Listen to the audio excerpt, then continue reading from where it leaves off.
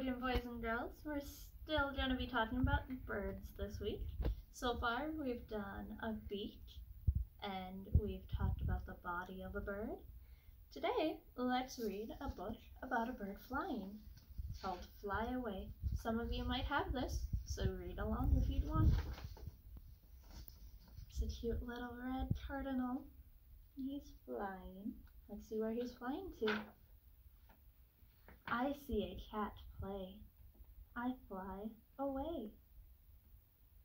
Do you think a bird would like a cat? Or a cat would like a bird? I see a fox play.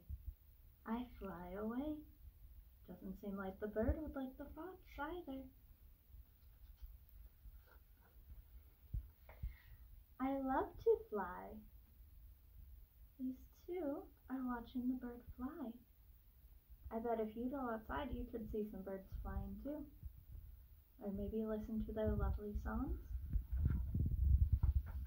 I love my tree. He has his nest in his tree where he feels safe, and they're still watching him. the end. Maybe you could read this book with your family and see what words you can recognize throughout the book. So our craft today, we are talking about wings. This is a close-up of a bird's wing. They have feathers, and there's actually bones in here that hold the feathers. But their feathers help them fly. It catches air underneath Pretend you have wings and flap your wings. Pretend there's feathers and you can feel the breeze. For today, in your packets, you should have a gray piece of paper, a couple feathers to paint with, so you'll need some paint to be able to paint. And you're going to make your own wings.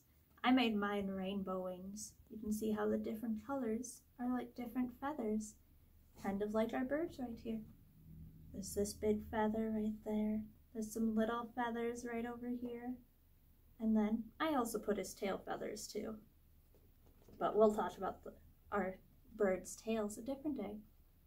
But I'd love to see how your guys' art turns out. So just let your parents know that me and Johanna would love to see all your artwork.